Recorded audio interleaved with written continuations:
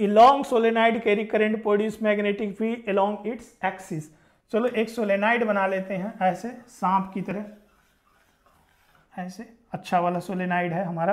तो ये, इसके एक्सिस पर मैग्नेटिक फ़ील्ड क्या होगा? तो एक्सिस पर किसी भी इंस्टेंट जो मैग्नेटिक फ़ील्ड की एक्सप्रेशन है, यहाँ बीच में जो मैग्नेटिक फ़ील्ड होती है, वो होती है म्यू नॉट आई और इसके इंड पर, यहाँ पर जो मैग्नेटिक फ़ील्ड होती है, वो होती है mu naught N I divided by two mu naught N I divided by two magnetic field end पर. और जनरल डिस्टेंस में मैग्नेटिक फ़ील्ड आप पढ़े होगे यहाँ पर अगर ये सोलेनाइड इस इंड पर ये एंगल अल्फ़ा बीटा है अल्फ़ा और बी, बीटा है तो उसका दूसरा वीडियो मेरा देख लेना।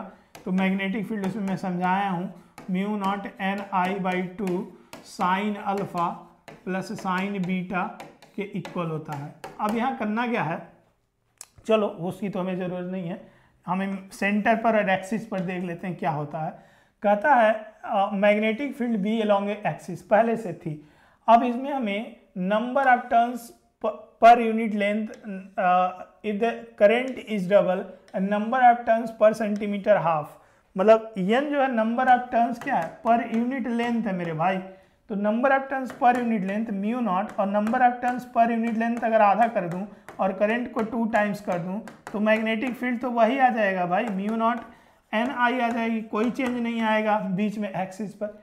इंड पर भी वही रहेगा तो इंड पर भी magnetic field B is equal to mu naught by half है, और ये नंबर ऑफ़ टर्न्स आधा हो गया करेंट टू टाइम्स हो गया मतलब म्यू नॉट एन आई और बाई टू आ गया मतलब कहीं कोई चेंज नहीं आ रहा है।